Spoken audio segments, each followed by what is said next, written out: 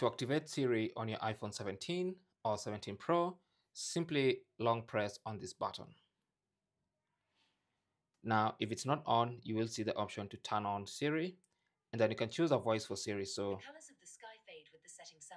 The colors of the sky. The colors of this. The colors of the sky. tap next, and then you can choose whether you want to improve Siri dictation.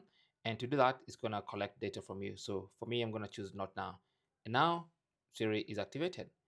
So if you want to be able to say Siri or Hey Siri, you need to go to settings and then under settings, you want to go to Apple Intelligence and Siri, tap on that, and then you will see the option talk to Siri, tap on that, and then now you can only talk to Siri when you long press here. But if you want to be able to call Siri by saying Siri or Hey Siri, you choose either Siri or both Siri and Hey Siri. So I have that enabled. So I'll hit continue.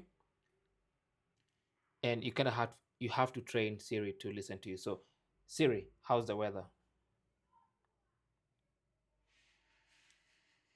Hey Siri, send a message. Siri, set a timer for three minutes. Hey Siri, get some di- get directions home. Whoops. Siri, play some music. And once you go through that process, Siri will be ready, and now you can tap on done. So with the check mark here, that means now when, whenever I need my assistant, I can just say, Siri, what's the time?